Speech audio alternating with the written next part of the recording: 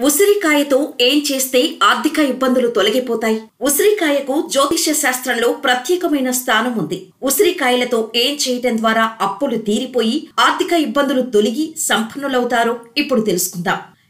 కార్తీక మాసానికి ఉసిరి చెట్టుకు ఉసిరికాయకు ఉన్న సంబంధం అంతా ఇంతా కాదు. అలాగే కార్తీక మాసంలో ముఖ్యంగా ఉసిరికాయతో దీపాన్ని వెలిగిస్తే సకల శుభాలు కలుగుతాయి. సాక్షాత్తు ఈశ్వర స్వరూపంగా భావిస్తారు. అందుకే కార్తీక మాసంలో ఏకాదశి సోమవారం పౌర్ణమి దినాలలో ఉసిరి చెట్టు కింద దీపాలు వెలిగిస్తారు. అదేవిధంగా శుక్రవారం నాడు ఉసిరికాయలు నెయ్యి నిండే విధంగా కట్ చేసుకొని దాని నిండా నేతితో నింపి తామరాకు కాడలతో ఒత్తులను వేసి దీపం వెలిగించండి. ఇలా చేస్తే మహిళలు దీర్ఘ సుమంగళి ప్రాప్తం చేజెక్కించుకుంటారని ఆధ్యాత్మిక పండితులు చెబుతున్నారు. ఉసిరికాయ అంటే లక్ష్మీదేవికి ప్రీతికరమైనది.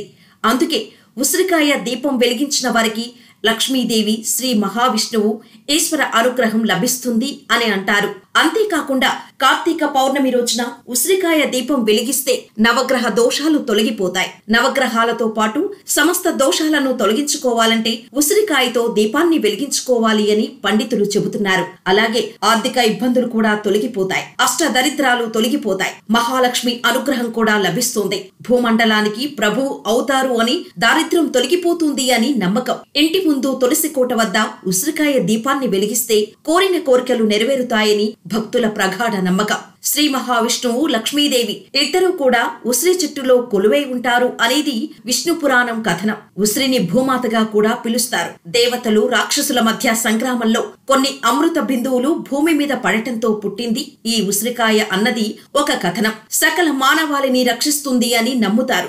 వృద్ధాప్యాన్ని దరిచేరనివ్వదు. ఔషధంలో ఉసిరి చాలా ముఖ్యమైనది. అందుకే ప్రతి వ్యక్తి తన జీవిత కాలంలో ఐదు ఉసిరి చెట్లు నాటాలి అని చెబుతుంటారు. గొప్పదిగా భావించే ఆ చెట్టు యొక్క ఫలం ఎంతో ఉత్తమమైనది అని వేరే చెప్పాల్సిన అవసరం లేదు. ఆయుర్వేద వైద్యానికి ఉసిరి మూలం. ఆదిశంకరాచార్యుల వారు అసువుగా చెప్పిన కనకధారా స్తోత్రం ప్రతిరోజు చదవదగినది. శంకరులు చిన్నతనంలో ఎనిమిదేళ్ళ వయసులో ఒక బ్రాహ్మణుడు ఇంటి ముందు నిలుచుని మాతా భిక్షాందేహి అని అడగగా ఆ బ్రాహ్మణి మరొక వస్త్రం లేక తను ఆరవేసిన వస్త్రం ఆరిన దాకా చిన్న రవికితో బయటకు రాలేక తన లేమికి చింతిస్తూ తన ఇంటిలో ఉన్న ఒక ఎండిన ఉసిరికను ఆ బ్రాహ్మణుడి జోలెలో పడేలాగా విసరటం చూసిన శంకరుడు ఆవిడ లేమికి బాధపడి అంత దరిద్రంలోనూ ఉన్న ఒక్క ఉసిరికాయను దానం చేయాలని ఆమె గొప్ప గుణానికి సంతోషించి ఆసువుగా కనకధారా స్తోత్రం చదవటం జరిగింది.